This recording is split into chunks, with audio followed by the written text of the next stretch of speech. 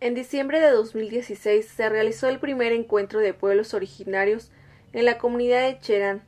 Se compartieron las diferentes luchas en defensa del territorio de varios estados del país.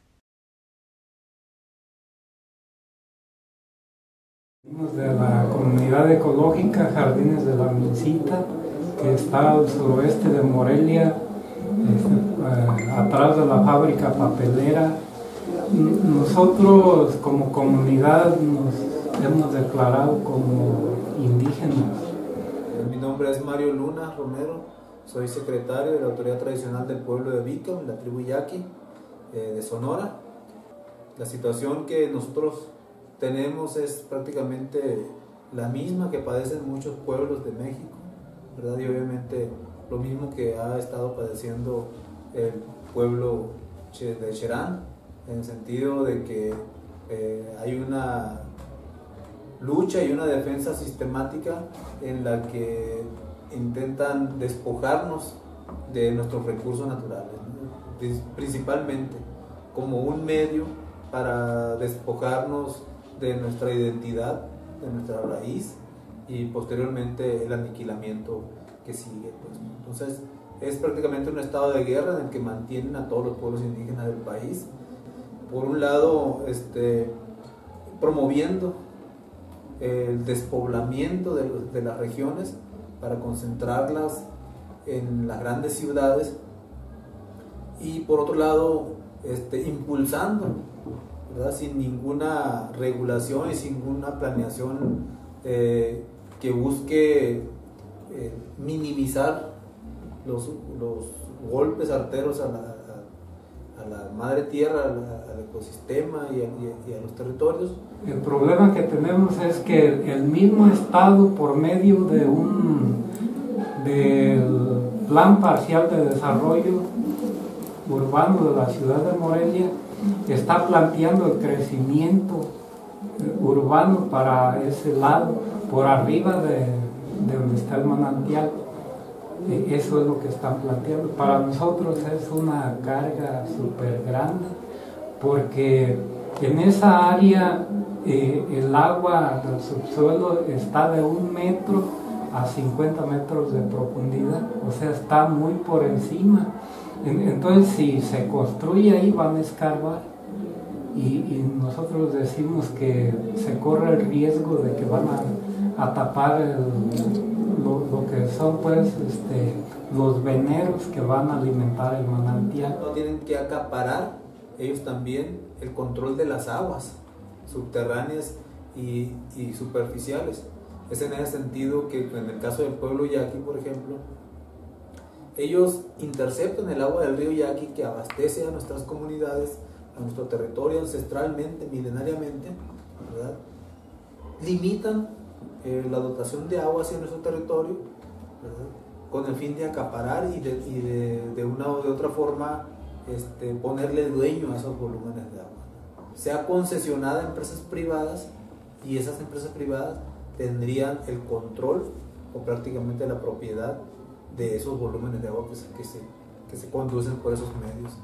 Es entonces todo un plan, toda una planeación para despojar a los pueblos que han cuidado milenariamente tanto de los bosques como de, los, como de, los, de sus aguas, de los territorios, de la flora la fauna, y obviamente para garantizar la, la existencia misma de nuestros hijos que hoy están en nuestros territorios, pero también los que no han nacido. Es en el sentido pues que hay estos encontronazos, este estado de guerra en la que los pueblos resisten y los gobiernos junto con las empresas están en los embates continuos. Eh, en medio de esto pues obviamente ellos utilizan varias herramientas, varios mecanismos de, de golpeteo y de aniquilamiento de nuestras resistencias. Una es el utilizamiento, la utilización facciosa de las leyes nacionales, de los instrumentos judiciales, en el que criminalizan la protesta. En el caso mío, yo estuve encerrado un año en prisión sin que se me haya eh, comprobado delito alguno. Otros compañeros, otros tres compañeros igual, eh, sufrieron ese, ese hostigamiento, esa amenaza, esos, esos, esa, esa persecución por la vía judicial por un delito que jamás pudieron comprobar y que jamás pudieron tampoco acreditar el por qué nosotros estábamos en prisión. A esto le sumas una, un terrorismo psicológico, ataques sistemáticos con la incursión del crimen organizado en nuestras regiones, en nuestras comunidades.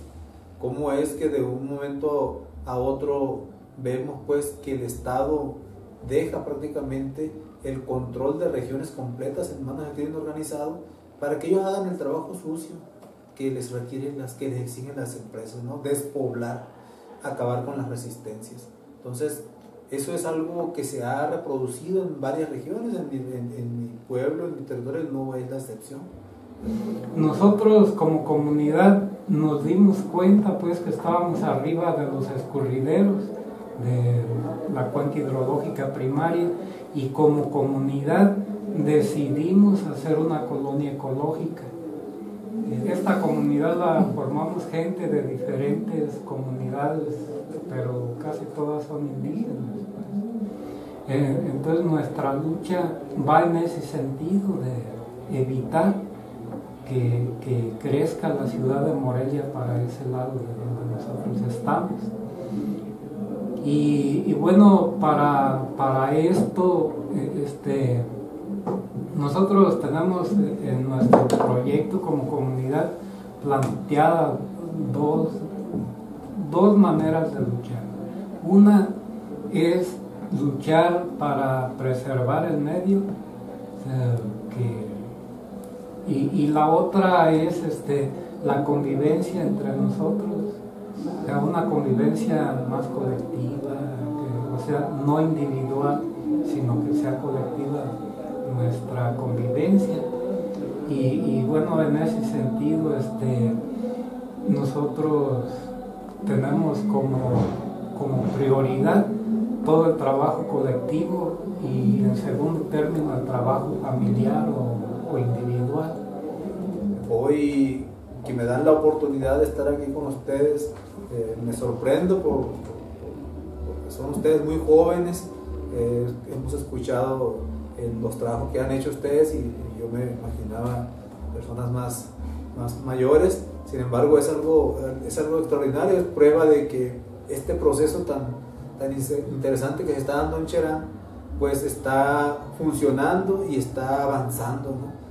Y hoy me encuentro aquí en el primer encuentro de, pueblos originarios de, Michoacán y me doy cuenta que este ejemplo está expandiéndose a las comunidades aledañas y obviamente también eh, fortaleciendo ese intercambio ¿verdad? de experiencias para que los demás pueblos que, conforman este estado pues puedan confluir y tomar acuerdos precisamente en la defensa de, de nuestros territorios.